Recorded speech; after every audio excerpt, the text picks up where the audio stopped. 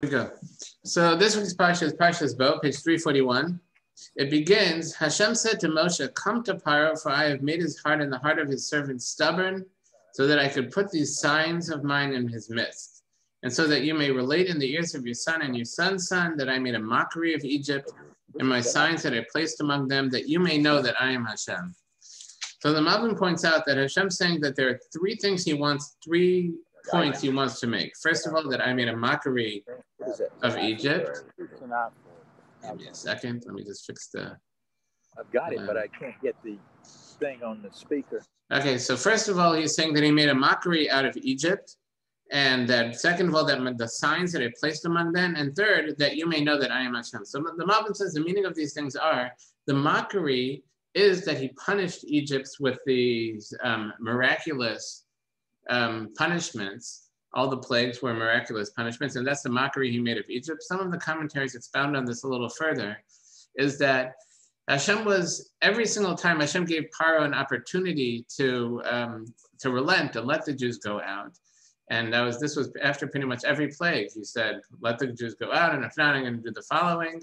And um, Paro did not agree, and in the later plagues, it says that Hashem hardened Paro's heart to give him to allow him to overcome the um, overcome the difficulty in setting that overcome the troubles that he was going through, so he'd be able to resist setting them free. And they say that that's the um, that's the mockery that he made of Egypt and of Paro is that he kept on punishing them and giving them the opportunity to set the Jews free, but at the same time gave him the ability to resist setting them free. So he was playing with him. And then it continues the signs of mine in his midst. And it says, the signs that I placed among them, those signs are what we talked about it, um, at length last week in Parshas, um, uh, in Parshas Va'era, that um, the purpose of the plagues, the first three plagues were to say that, um, so that you'll know that I am Hashem. The second set of plagues was, you'll know I am Hashem in the midst of the land. And the third set of plagues was, so you will know that there is none other like me. So those are the signs that Hashem performed for Egypt. And the last statement is that you may know that I am Hashem. So the Malbim said this is a callback to the introduction of Parshas Va'era, where Hashem said to Moshe that I appeared to Avram, Yitzchak, and Yaakov as Kel Shakai, but my name Hashem they did not know. And we explained from the Ramban that this means that um, the name Hashem refers to Hashem acting in a miraculous fashion above the laws of nature, Hashem working outside the laws of nature to perform miracles and save us through miracles. And that's what is stated here. So that you may know that I am Hashem, that we know that Hashem fulfills his promise in a miraculous fashion. And it continues in Pasuk Gimel, verse 3. Um, Moshe and Aaron came to Paro and said to him, So said Hashem, God of the Hebrews, until when will you refuse to be humbled before me? Send out my people that they may serve me. For if you refuse to send forth my people, Behold, tomorrow I shall bring a locust swarm into your border. It will cover the surface of the earth so that no so that one will not be able to see the earth, and it will consume the remaining residue that was left to you by the hail, and it will consume all the trees that grow from you for you from the field. You'll fill your houses, the houses of all your servants, the house of all Egypt, etc. Um, such um, and he turned and left Paro's presence. And in verse 7, Paro's servant said to him, How long will this be a snare for us? Send out the men that they may serve Hashem their God. Do you not know that Egypt is lost? So Moshe and Aaron will return to Paro, and he said to them, Go and serve Hashem. And turning to page 343, your God, which ones are going? And I'll talk about that last statement later. But the Ramban points out that it says that Moshe and Aaron left in verse 6, end of verse 6, it says, And he turned and left Paro's presence, which it doesn't say about all the other plagues. And the Ramban says this means that he left without permission, without leave of Paro, that he just turned and went. And this is something that you don't do with a king. You don't, you don't just walk out on your own. You wait till you, he grants you leave, till he gives you permission to leave. And the Ramban says the reason why he did this was because he saw that the people were bothered. And he saw that they, that they wanted to talk about it, to discuss it. And um, they might push Paro to let the Jews go. So he walked out to give them that opportunity meaning the way a salesman, a good salesman watches people and recognizes when sometimes he just pushes and pushes and pushes and doesn't take no for an answer, doesn't let you stop. But sometimes if he sees that you're going to talk about it and might say yes, he gives you the opportunity to talk yourself into it. And that's what Moshe was doing. He saw that they wanted to talk. So he gave them the opportunity to talk themselves into, into agreeing to let the Jews go by just walking out. And that's what and that's what they did. And as it says in verse 7, Paro's servant said to him, How long will this be a snare for us? Send out the men that they may serve Hashem their God. Do you not know that Egypt is lost? So Paro's advisors would tell him, You have to let them go. So in verse 8, once again, so Moshe and Aaron were returned to Paro, and he said to them, Go and serve Hashem. So he's agreeing to what they're to their demands, except he asks your God, which ones are going? And they answered in verse 9, Moshe said, With our youngsters and with our elders we shall go with our sons and with our daughters, with our flock, with our cattle shall we go, because it is a festival of Hashem for us. So um, the Rabbeinu Bachya comments, just as an aside, that what's this festival of Hashem that is for us? He says this is referring to the festival of Shavuos, which is the giving of the Torah, which was is coming up not a long time after this point, since they're in Rosh Chodesh Nisan, so it's coming up, and that's what they were asking for that festival. And it, um, okay, that's just an aside. But um, it, a, this is an interesting conversation here. The conversation continues in verse 10. He said to them, So be Hashem with you as I will send you forth with your children. Look, the evil intent is opposite your face. Not so, let the men go now serve Hashem, for that is what you seek. And he drove them out from Paro's presence. So what's this conversation? Paro asked, which ones are going? You're going to serve God. Which ones are going? Moshe said, Our youngsters, our elders, our, um, our daughters, our flock with our cattle shall go. And then Paro said, um, Look, evil intent is opposite your faces, just let the men go. So, what's going on? What's the conversation here? And later, we see, um, just skipping a little bit, I'll come back.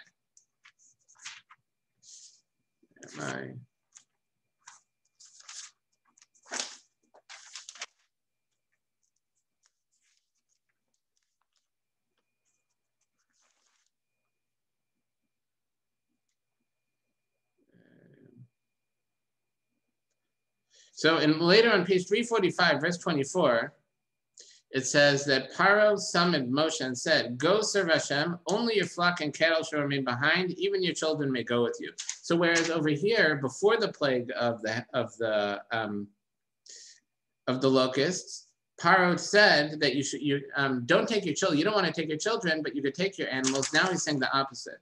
Take your children, but don't take your animals. So as it says, go serve Hashem, only your flock and your cattle shall remain behind, even your children may go with you. So what's this whole conversation between Paro and Moshe? So the Malbim explains that Paro was a pagan. He believed in polytheism. He believed in, mul in multiple gods, many different powers. And um, that belief influenced his thinking to the point that he couldn't grasp the concept of, of, um, of one God, of one power that controls everything. He couldn't even imagine such a concept. So Paro I was asking Moshe, who is going to go? Is it going to be the animals or is it going to be your children?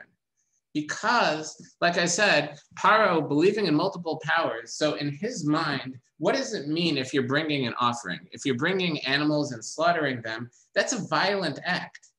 You're, you're, you're killing in the service of your deity. So in Paro's mind, that means that you're dealing with a violent deity. You're dealing with an angry, um, vengeful deity, and, and that deity needs appeasement through the slaughtering of animals. And if you don't slaughter animals, that deity might um, might um, take might um, attack people, and you have to appease him with some violent acts. So Paro was saying that if you're taking animals, meaning you're going to slaughter animals, you're doing these violent acts. So it must be that you're dealing with a violent deity, in which case you don't want to bring kids to that. You, want to, you don't want to bring kids to the service of this violent deity because the, this God might start demanding the kids as well for a sacrifice. He might want um, human sacrifice and might want you to offer the kids as well. So he said, you want to keep the kids far away from that kind of service. So he's saying, which one, which one is it? Is it an angry God where you need the animals? Or maybe you're going to serve a, um, a happy God, a, a God that's enjoyable to serve, where there's dancing, there's partying, there's happiness. In which case, sure, bring the kids along because it's going to be a great time, but you don't need animals for that because there's no need for offerings, there's no need for appeasement, there's no need for any violence. And once again, we who are worship one God understand this concept that our that we are celebrating with Hashem, where that every holiday is a celebration, and we're bringing the offerings in celebration and, and to bring us close to Hashem, not as an appeasement for violent impulses, but um, to, we're offering up the offerings as a, in a sense, as a stand-in for ourselves, recognizing the sins that we've committed and, and how we want to come close to Hashem. And that's what the offerings represent. But in Paro's mind, offerings only mean appeasement of some anger and, and some violence. So that's what Paro was asking. Paro was asking once again, now after saying that, seeing this again, that so Paro asked which ones are going. And in verse 9, Moshe said, with our youngsters and with our elders we shall we go, with our sons and with our daughters, with our flock and our cattle shall we go, because it is a festival of Hashem for us. So he's saying that we're going to go with all our animals and with our sons and daughters. And um, Paro said in verse 10, he said to them, So be Hashem with you, I will not say, I will send you forth with your children. Um, so be Hashem with you as I send it, you forth with your children, meaning there's no way in the world I'm going to allow you to take your children to an event where you're bringing animals as offerings. Look, the evil intent is opposite your face, meaning that if the, the, your God is demanding us you to slaughter animals, it must be an evil God. That's the evil in front of your face. Not so let the men go now, serve Hashem, for that is what you seek. And Paro, of course, showing how compassionate he is and how protective he is of the Jewish children that he won't allow them to, he won't allow the Jews to bring their children along to such an to such a celebration where they're slaughtering animals. And he drove them out from Paro's presence. Okay. There's other Pshatim, there are other explanations for this um, verse where it says, look, the evil intent is opposite your face. Literally, the evil is in front of you. That Rashi says that, um, that he's telling them that there's a star or the controlling um, there's the controlling zodiac sign, whatever it is, is in front of you. And that, that star or that zodiac is Ra, is bad, is evil. And I think they say that that is Mars, which is the red planet. It's red in the sky. Recently, it was very bright. And you were able to see that red just shining down on you. And that Paro was saying that that's a sign of blood, and it's gonna it's it's gonna bring violence. You go out into the desert now, it's going to it's, it's, you're gonna come to violent end based on that zodiac sign. Um, the Beis Halevi though says a fascinating explanation of this. He says, "Look, the evil intent is opposite your faces." The Beis Halevi says that Paro was telling Moshe that you want to go serve your God. He says, Paro says, "I have experience with your God. I've been punished already." Um, seven plagues already, eight plagues, seven plagues. I've been punished already, seven plagues from your God. And I know that um, your God is, the, the punishment is very difficult. And he's saying, I know at some point you're going to mess up. At some point in the future, you're going to mess up and you're going to need and you're going to be punished. So I'm telling you that this, this evil is in front of you, that in your future, you're going to be punished just like I'm punished. Of course, Paro not understanding the concept of tshuva, of repentance, and the offerings which bring us close to Hashem and allow us to return to Hashem. So it continues in verse 12. Hashem said to Moshe, stretch out your hand over the land of Egypt for the locust swarm, um, for the locust swarm, and it will ascend upon the land of Egypt and eat all the grass of the land, everything that the hell has left. And that's what he did. And in verse 14, the locust swarm ascended over the entire land of Egypt, It rested in the entire border of Egypt very severely. Before, the, before there was never a locust swarm like it, and after it there will not be its equal. This is the worst that's ever occurred in Egypt. In verse 15, it, it covered the surface of the entire land, and the land was darkened. It, ate all the grass of the land, all the fruit of the trees that the hell had left. No greenery remained on the trees or the grass of the field in the entire land of Egypt. So these locusts ate everything. Can we go back to verse 13? Sure.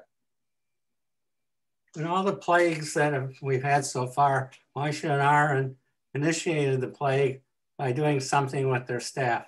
In right. 13, the locusts won't come until there's an east wind, an intermediate step. What's the significance of that? I don't know.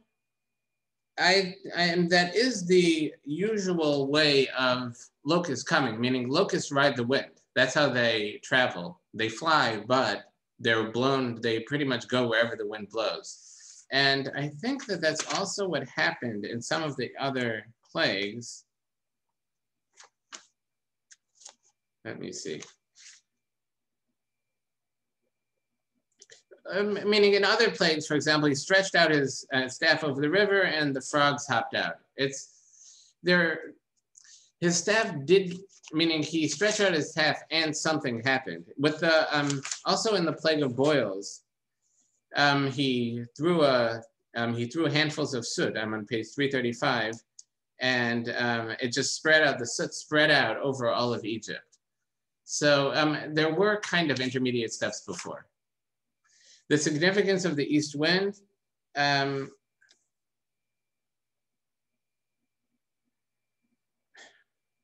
I would like to say bad things usually come from the east, but that's not the case. And according to Kabbalah, Kabbalistic thought, bad things come from the north. So um, I don't know.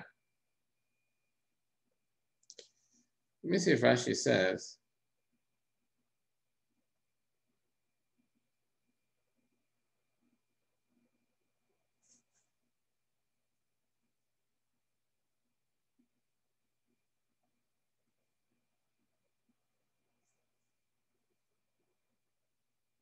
I don't know. Um, I don't know. I'm sorry. I missed okay. the part of it. What's that? I missed the part where he spread all the ashes over the land. Yeah, I kind of skipped over that that last week, but that was by the plague of the boils. That it says that um, that Aaron and Moshe each had a handful of soot, and they put it in Moshe's hand, and Moshe threw it up, and it's that soot spread out all over the land of Egypt, and wherever it landed, they had boils. And that's on page 330, that's on page 335, verse um, 8 and 9, if you would like to see it. I recall that the uh, evil in front of your faces also can refer to the ego. What's that? The evil in front of your faces refers to the ego. The, the ego, something like that. I don't think I've seen that. What I have seen is that I mentioned Rashi. That Rashi says that it's the the star of the um, the of the, the red star Mars, was up in the sky and he said that's a sign of blood and like and blood and bloodshed. And what it was was actually the blood of the bris milah and the blood of the korban pesach that um, both occur in this week's parsha that every that in order to bring a korban pesach they had to have a bris milah. So they all circumcised themselves and everybody got circumcised and they slaughtered the korban pesach and spread the blood on their doorposts and that's what it signified but I don't think I've seen that it was signifying the egel, the golden calf. Okay, so moving on. In verse, uh, one second. Yeah, moving on in verse 16, it says, Paro hastened to summon Moshe and Aaron and said, I have sinned to Hashem, your God, unto you, and now please forgive my sin just as time and entreat Hashem, your God, that he remove me only this death. And he did. And in verse 19, Hashem turned back a very powerful west wind and it carried the locust swarm and hurled it towards the Sea of Reeds. Not a single locust remained within the entire border of Egypt, but Hashem strengthened the heart of Paro, and he did not send out the children of Israel. Okay. And in verse 21, page 345, verse 21 was the plague of darkness. Hashem said to Moshe, Stretch forth your hand towards the heavens, there shall be a darkness upon the land of Egypt, and the darkness will be tangible Moshe stretched forth his hand towards the heavens, and there was a thick darkness throughout the land of Egypt for a three-day period. No man could see his brother, nor could anyone rise from his place for a three-day period, but for all the children of Israel, there was light in their dwelling. So the, um, the Ramban explains this whole idea of this darkness, that it's a tangible darkness. That means that it wasn't just the absence of light. It wasn't just that they couldn't see the sun shining and it didn't light them up. If that was the case, they could light a candle, they could light a torch. And um, even um, not that they couldn't see any light, but it was that it, the Ramban says it was like a thick mist or fog that was so thick that it was tangible and light couldn't penetrate it. So um, it was just total darkness. Even if they lit a candle, the Ramban says the candle would, wouldn't be able to stay lit from this thick fog.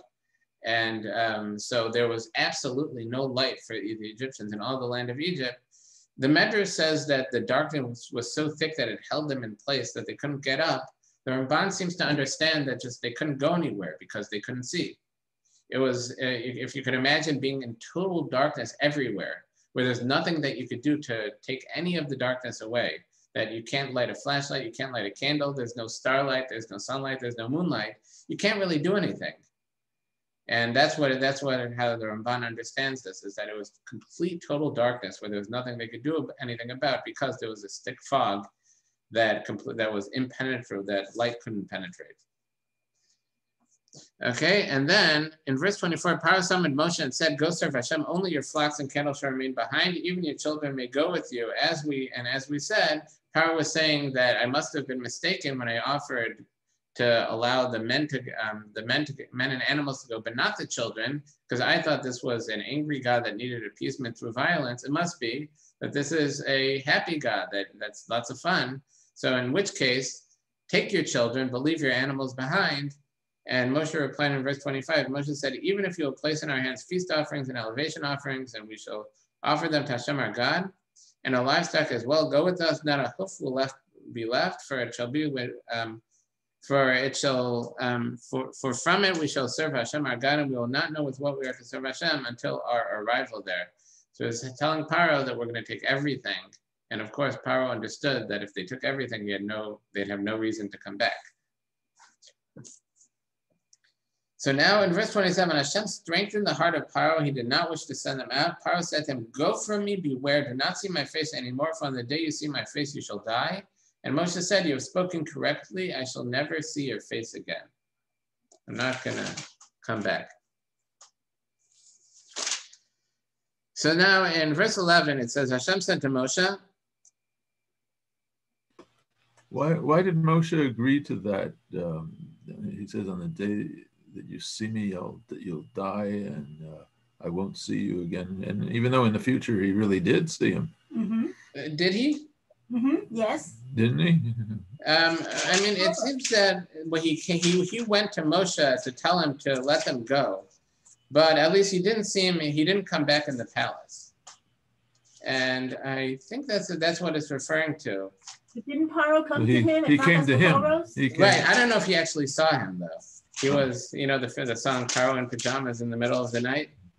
In the dark. And he was just like running out in the middle of the night looking for mm-hmm. Moshe and what you're referring to, I'm trying to find it. You just piece of paper. Um, in verse, this is on page 357.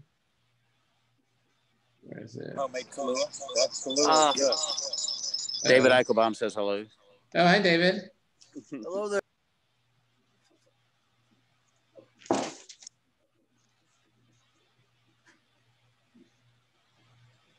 Yes, so it, I'm, I'm not seeing the commentaries mention that, but you're right. It does say on page um, 357 that Paro rose up, this is page 357, verse 30. Paro rose up at midnight, he and all his servants in all of Egypt. And verse 31, he called to Moshe out at night and said, Rise up, go out from amongst my people, even you, even the children of Israel, go and serve Hashem as you have spoken. It could be that he didn't see them and they didn't see him, that he was going at night. But anyway, there is actually a, a story that they say about one of the great sages in Europe that as a child, that there was a question that came up about someone who swore an oath that um, they would never um, they would never see this person again, a person again. And that person died and they wanted to go to the funeral and they were asking, are they allowed to do that? Could they do that? And um, this great rabbi, as a, as a young boy, said that you could bring a proof from, from this um, statement of Moshe that um, that Moshe said um, that Paro said, "You'll never see me again." Moshe agreed. Yet later it says that um, Paro and all his officers were washed up from the sea after the splitting of the sea. So we brought a proof that once someone's dead, they are you are able to. That's not counted as seeing them. But you're right. It must be that since they came at night, they couldn't actually see Paro. Okay, anyway, moving on. Go back to us. Um, I'm back to page 315, 349. It's on verse 12. It says, Hashem said to Moshe and Aaron in the land of Egypt, saying, This month shall be for you the beginning of the months. It shall be for you the first of the months of the year. There's actually two ways to interpret this verse that um, the commentators interpreted. Rashi actually goes um, on a less um, surface level, Rashi says, says that he was actually not referring really to the month, but he was referring to the moon. And he was telling you this moon is the beginning of the month. And this is the mitzvah of Kiddush HaChodesh, of sanctifying the new month. And he was telling him that the way that we begin months is not through a calendar, and definitely not a solar calendar. Rather, the way we traditionally have um, set our calendar is through testimony about someone seeing a new moon. And that is that, you know, the moon appears, appears, and then it gets bigger and bigger until you have a full moon where it's a full disk. And then it gradually gets smaller until it vanishes. And then it comes back again as the, as the new moon. And Hashem showed him the new moon. And as it says here, that um, the, it says little, this is the first of the month. So he showed him that new moon and says, this is what the moon looks like at the beginning of the month. And that's how we decide when our month starts is by someone coming to the high court in Jerusalem and testifying that they saw that moon.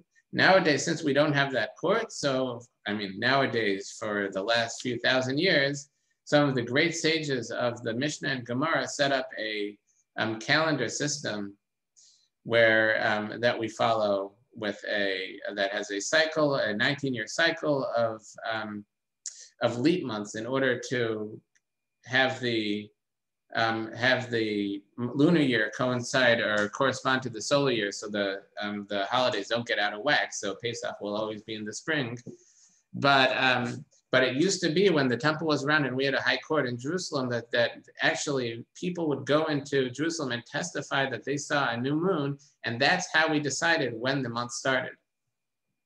And that's what this verse is referring to. And um, the Ramban has a different understanding of this, which is more, the more obvious explanation, is that this month shall be the beginning of the months of the year, meaning that when we count the months, we start counting from Nisan, from um, the month that we left Egypt. And the Ramban says that we see this throughout the Torah, that when the Torah gives a date, the Torah doesn't have names of the months. We don't have, nowadays we call it Nisan, Iyar, Sivan, which I'll talk about in a second. But the Ramban says that in the Torah, it calls it the first month, the second month. It was in the third month and second of, uh, sixth of the month. That is Shavuos. That's when the Torah was given. So maybe. Um, but um, and, and, it counts the months from Nisan, which is, if you think about it, it's very strange because that's not when the year starts. Our years start from Rosh Hashanah, which is the beginning of the month of Tishrei. So when we're working with the Jewish calendar, things get are very out of whack because the year actually changes over from one, one year to the next on this in the beginning of the seventh month counting from Pesach, counting from Nisan, the month that Pesach falls out in, but throughout the Torah, it refers to the months starting with um, Nisan, starting with the month that Pesach falls out with, um, Rosh Hashanah when we change over as month seven through 12 for Adar. And then we start over from Nisan. But the Ramban says that nowadays we actually do use names for the months. Like I said, we call it Nisan, Iyar, Sivan, and those are Babylonian names. Those are names that we adopted in our exile in Babylon. And the, and the Ramban says the reason for that is, is that it's a, based on a pasuk from Yirmiyah, a pasuk in Jeremiah, that says that the miracles when we return to Jerusalem, that the reason why we count from the from this month, we count from the month of Nisan, is to commemorate the um, great miracles of Hashem taking us out of Egypt. So whenever we count a month, we say it's the first month, it's the second month, it's, it's, it's the third month.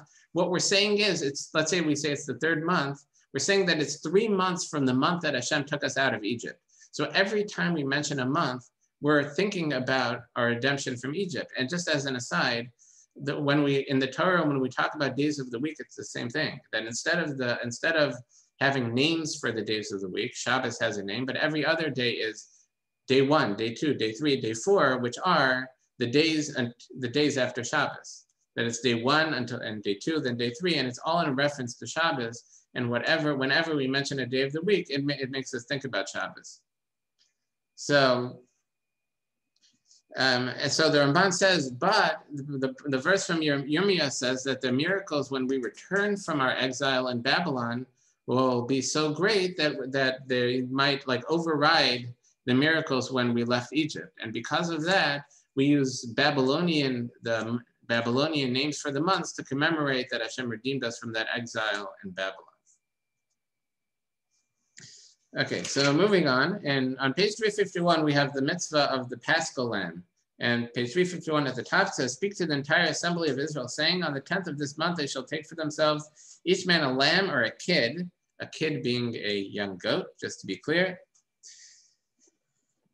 Uh, for each father's house, a lamb or a kid for the household. But if the household is too small, etc., then um, they can join together with their neighbors.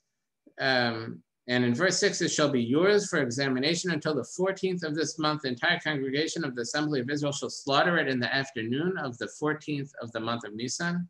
They shall take some of its blood and place it on the two doorposts and the lintel of the houses in which they will eat it. They shall eat the flesh on that night, roasted over fire and matzahs with bitter herbs. With matzahs and bitter herbs, they shall eat it.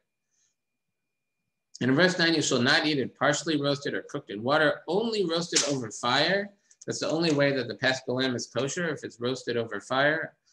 Um, its legs with its innards, you shall not leave any of it until morning. Any of it that is left until morning, you shall burn in the fire. So we have to eat that in the entire um, lamb. And in verse 11, it states, So shall you eat it, your loins girded, your shoes on your feet, your feet, staff in your hands, you shall eat it in haste. It is a Pesach offering to Hashem, that the mitzvah was that night they were to eat it all ready to go because they were going to be taken out of Egypt that, that the following morning. So they're commanded to eat it packed and ready to go. And it continues in verse 12. I shall go through Egypt on this night, and I shall strike every firstborn in the land of Egypt from man to beast, and against all the gods of Egypt I shall mete out judgment. I am Hashem. The blood shall be a sign for you upon the houses where you are. When I see the blood, I shall pass over you, and there shall not be a plague of destruction upon you when I strike in this land of Egypt. This day shall be a remembrance for you, and you shall celebrate it as a festival for Hashem for your generations. As an eternal decree shall you celebrate it. Until now, the mitzvah was specifically for that year, specifically for the first Pesach that we celebrated in Egypt. And now we're continuing that this is going to be a mitzvah every year. For the for a seven day period on page 355, you shall eat matzahs, but on the previous day you shall nullify the leaven from your homes. For anyone who eats leavened food, that soul shall be cut off from Israel from the first day to the seventh day. That there's a mitzvah not to eat chametz, not to eat bread or any leavened food. On the first day shall be holy, etc. And in verse 17, you shall safeguard the matzahs, for on the ver- this very day I will have taken your legion out of the land of Egypt. You shall observe this day for your generations as an eternal decree etc. Okay, so that's the mitzvah of the paschal lamb and the mitzvah of matzahs. Now in verse 21, it says, Moshe called to the elders of Israel and said to them, draw forth and buy for yourselves one of the flock of your family. So now Moshe is telling over this mitzvah to them with a little more elaboration that wasn't mentioned before. It says in verse 22, you shall take a bundle of hyssop, that's a bush, and dip it into the blood that is in the basin and touch the lintel and the two doorposts with some of the blood that is in the basin. And as for you, you shall not leave the entrance of the house until morning. And then Hashem will pass through to smite Egypt, and he will see the blood that is on the lintel and the two doorposts, and Hashem will pass over the entrance. He will not permit the destroyer to enter your homes to smite. You shall observe this decree as a decree for yourself and your children forever. So here it says that he will not dis- permit the destroyer to enter your home to smite. And many of the commentaries ask, that here it implies that there's some angelic force that was sent to kill the Egyptian firstborns, and Hashem's not going to allow this that angelic force, this destroyer, this destructive angel, to come into the Jewish homes. And they ask that in the Haggadah, we say very clearly that, um, and this is a, based on a braisa saying of our sages from the Mishnah, that um, it's Hashem specifically that Hashem is killing all the Egyptians without any angelic help that says that I'm going to go through Egypt, I and not an angel, and I will strike the firstborns of Egypt, I and not an angel. And with the gods of Egypt, I will make wonders, I and not an angel, that everything will be done by Hashem, not through an angel. So, how is so? Why is it that um, that here it says, "I will not permit the destroying angel to ent- enter your home"? So, Rav Akiva Eger answers that um, within a question, like a good Jew, he answers this question with another question, and that is based on the end of the parsha. It says um, in verse on page 361, chapter 13, verse 1.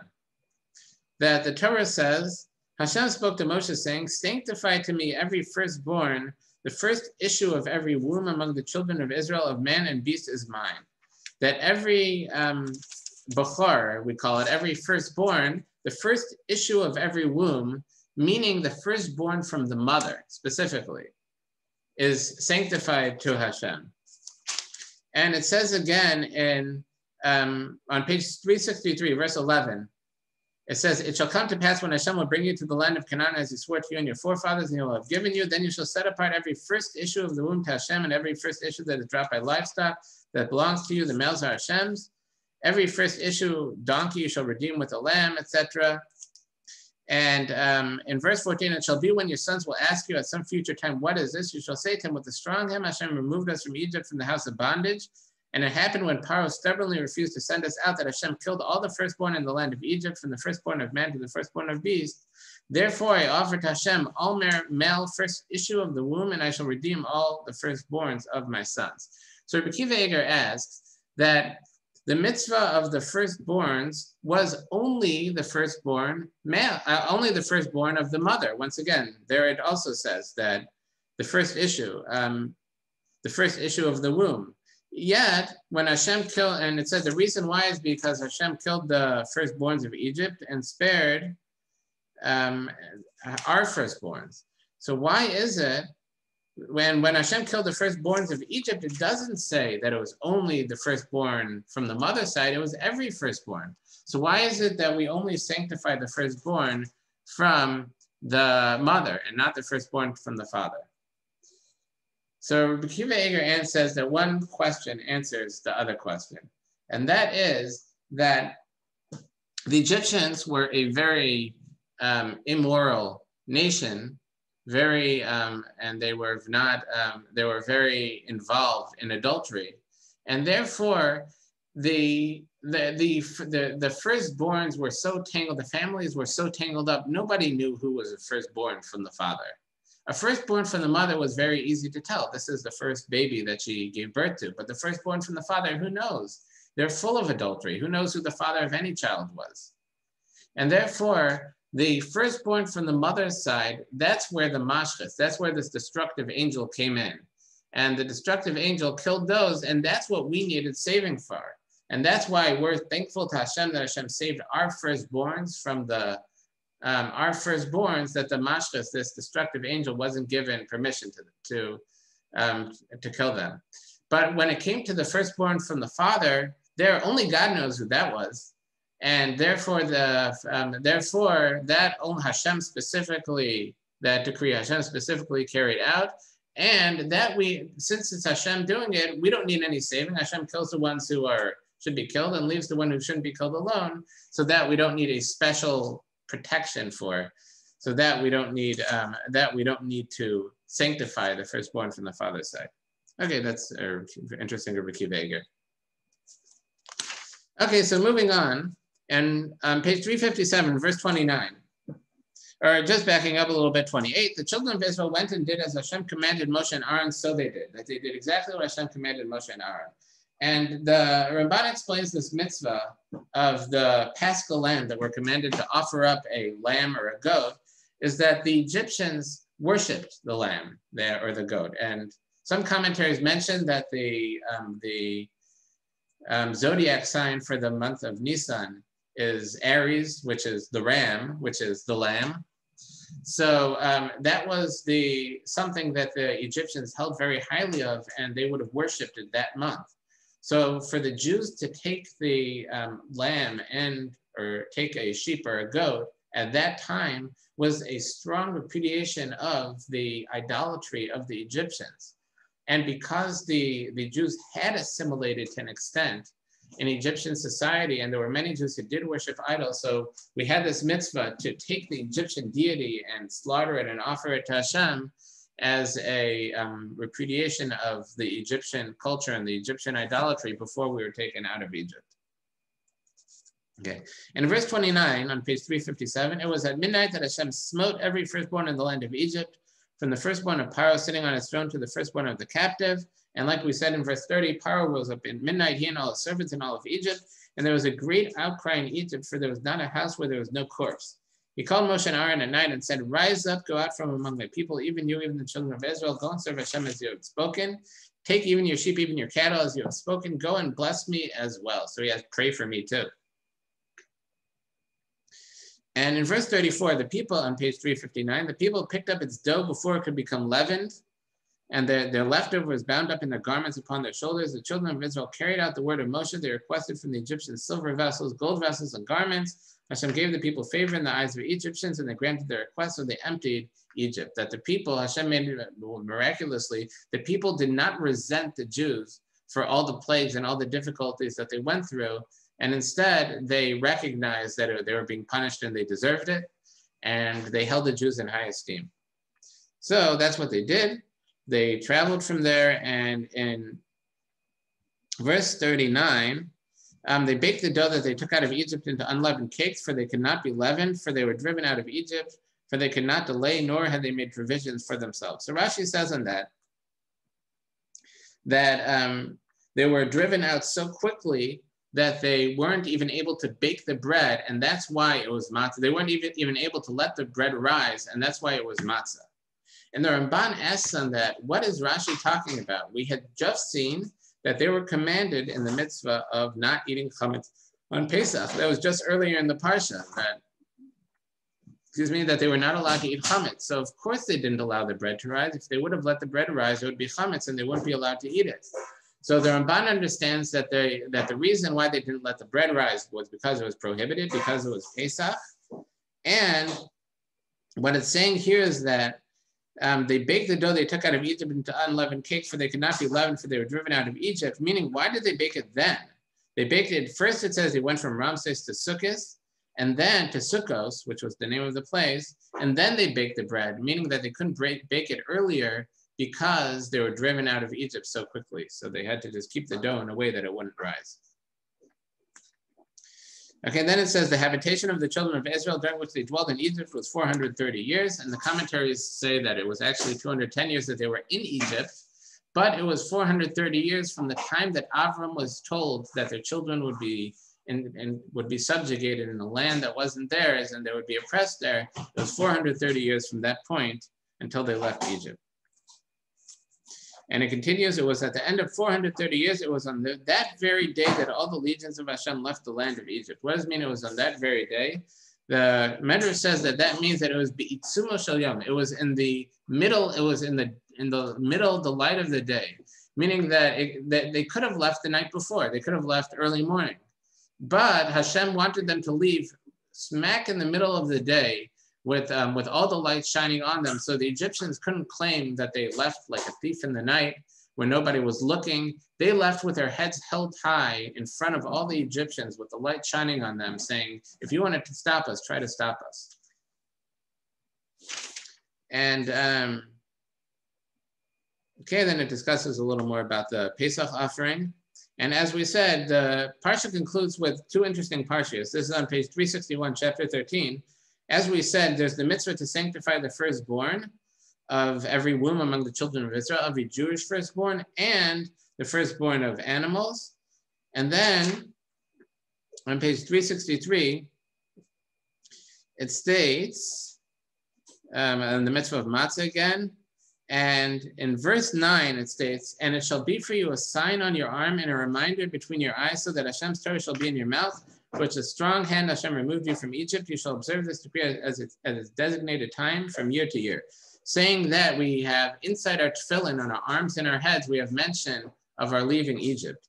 And again, it says on the bottom of page 362, verse 11, it discusses more about when we come to the land of Canaan, then we have the mitzvah of sanctifying our firstborns and the firstborns of our livestock. And um, Again, it says the parsha concludes in verse 16 on page 365, concludes, and it shall be a sign upon your arm and an ornament between your eyes, for with a strong hand Hashem removes us from Egypt.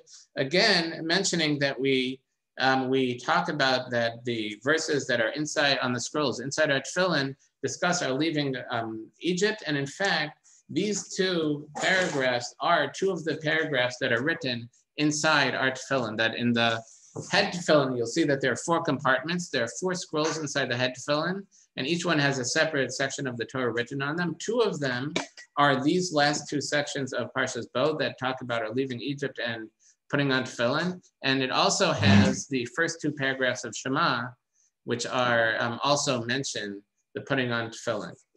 And um, all four are written on one scroll in the tefillin that goes on our arm. I just wanted to mention quickly about the Haftorah on page 1151, the Haftorah for Parshas Bo. It's from Yirmiyah.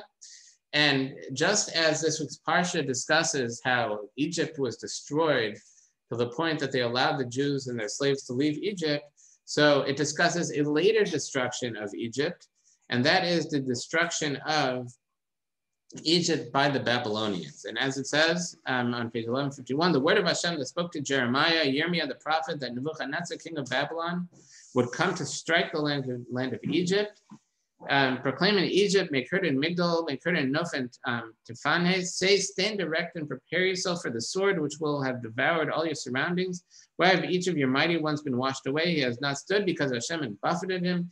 He has caused much, much stumbling. Indeed, one fell against the other, and he said, Let us arise and return to our people and the land of our birth. And they called out to Paro, the blustery king of Egypt has let the time go by. And, and Hashem sent him um, Yirmiyah as a messenger to Egypt that the Egyptians are going to be destroyed by the Babylonians. But it concludes in verse 17, but you, but I'm um, sorry, verse 27, but you be not afraid, my servant Yaakov, be not frightened, O Israel, for I will save you from afar and your offspring from the land of their captivity, and Yaakov shall return and be tranquil and complacent, and none shall make him tremble. You be not afraid, my servant Jacob, the words of Hashem, for I am with you. I'll make an end to all the nations where I've scattered you, but of you I shall not make an end. I shall punish you with justice, but I shall not destroy you utterly. That now the, the nation of Egypt is completely doesn't exist. Now Egypt is a nation of Arabs who came from, from the Arabian Peninsula. They're not native to Egypt. And there's no Egyptian nation any, that in existence anymore. And there's no Babylonian nation anymore. Now it's Iraq once again an Arab controlled nation. The native Babylonians, that um, nationality doesn't exist, but the Jews were scattered around the nations, but Hashem's with us and will never be destroyed. Okay, everybody have a great, let's see if I could stop this. Everybody have a